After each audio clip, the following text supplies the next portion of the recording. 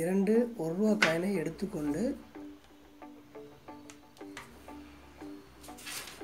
அதை உப்பு காகிதம் கொண்டு ஒரு ஒரு சைடை நன்றாக தேய்க்க வேண்டும்.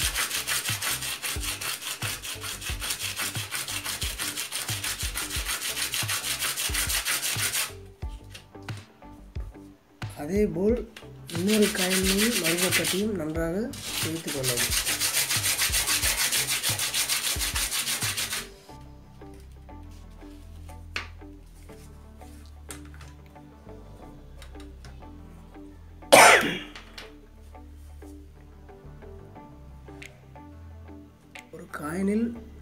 துளையை இட வேண்டும்.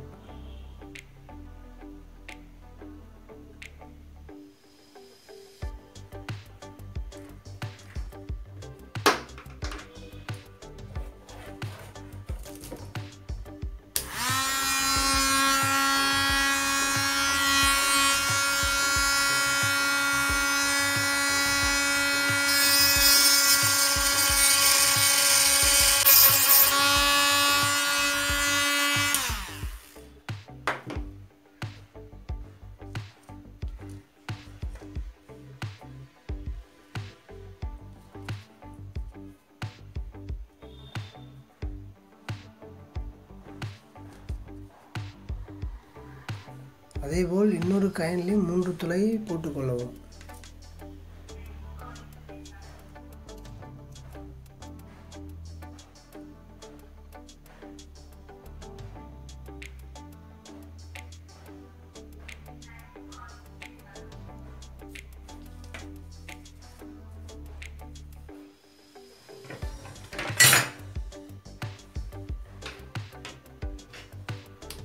தேவையில்லாத வீட்டில் இருக்கும் நைஃபை எடுத்து இதுபோல் மார்க் செய்து கொண்டு அந்த எதிர்க்கும் துளைகள் இட வேண்டும்.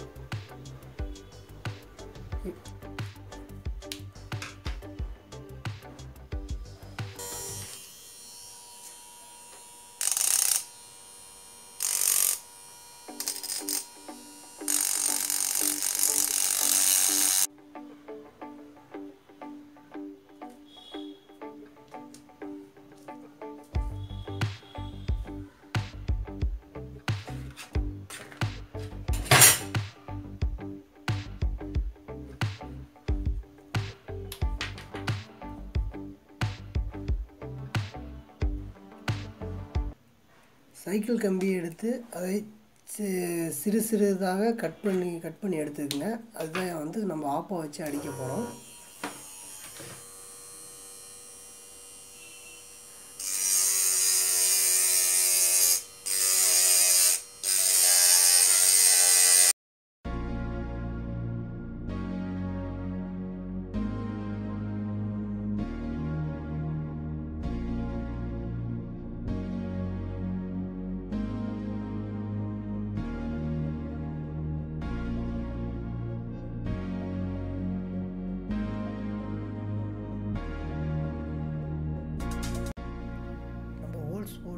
அந்த கயனெல்லாம் கரெக்டாக அந்த ஹோல்ஸுக்கு கரெக்டாக வர்ற மாதிரி வச்சு பார்த்துக்கிட்டு அதுக்கப்புறம் அந்த கட் பண்ணி வச்ச சைக்கிள் கம்பியை அந்த மூணு ஹோல்ஸ்லேயும் கரெக்டாக நுழையிற மாதிரி உள்ளே நுழைச்சி சுற்றியில் வச்சு கரெக்டாக டைட் பண்ணிக்கணும்.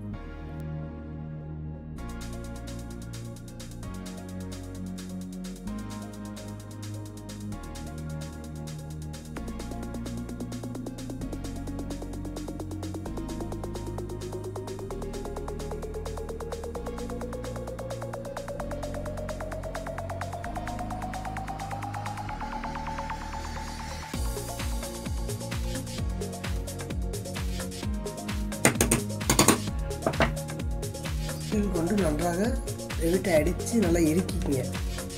இப்போ வந்து அந்த கத்தியை ஈஸி சுலபமாக வெளியே எடுத்து அறம் கொண்டு நன்றாக ஷார்ப் செய்து கொள்ளவும். செஞ்சுக்கிட்டோம்னா நம்ம அதை கட் பண்ணுறதுக்கு வசதியாக எந்த அளவுக்கு உங்களுக்கு வேணுமோ அந்த அளவுக்கு ஷார்ப் செஞ்சுக்கோங்க.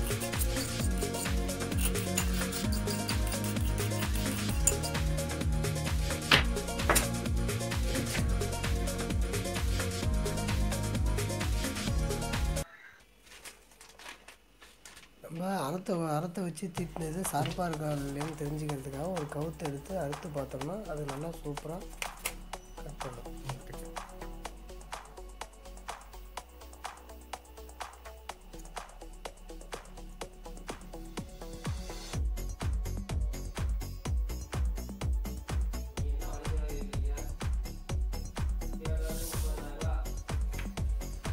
அதே மாதிரி நம்ம ஒரு பேப்பர் எடுத்து கட் பண்ணி பார்த்தாலும் நம்ம நல்லா சூப்பராக கட் பண்ணிடும்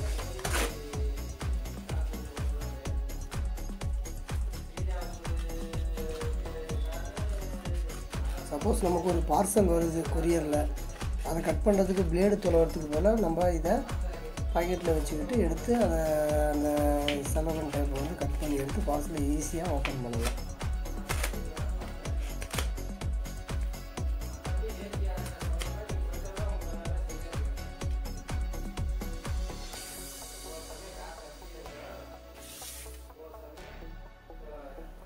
எமர்ஜென்சிக்கு எதுனாலும் நம்ம பாக்கெட்டில் இருந்துச்சுன்னா இதை எடுத்து கட் பண்ணிக்கலாம். இதோட ஈஸியாக மடக்கி பாக்கெட்டில் வச்சுக்கலாம். அதே மாதிரி நம்ம பெல்ட்டில் அந்த பக்கிள்ஸில் ஒரு மேக்னெட்டை ஃபிக்ஸ் பண்ணி அதில் அந்த காயினை ஒட்டிக்கிட்டோம்னா ஈஸியாக எது கொண்டாலும் எடுத்து ஓப்பன் பண்ணி நம்ம எதை கட் பண்ணணும்னு நினைக்கிறோமோ அதை கட் பண்ணிவிட்டு ஒரு கவுத்தையோ ஒரு இதவோ எதை கட் பண்ணணும்னு நம்ம இது பண்ணுறோமோ அதை கட் பண்ணிட்டு எளிதாக மடக்கி நம்ம மறுபடியும் அந்த பக்கிள்ஸில் வச்சு ஈஸியாக நம்ம ஃபிட் பண்ணிக்கலாம். இது மாதிரி உங்களுக்கு தேவையான செஞ்சு வச்சுக்கோங்க.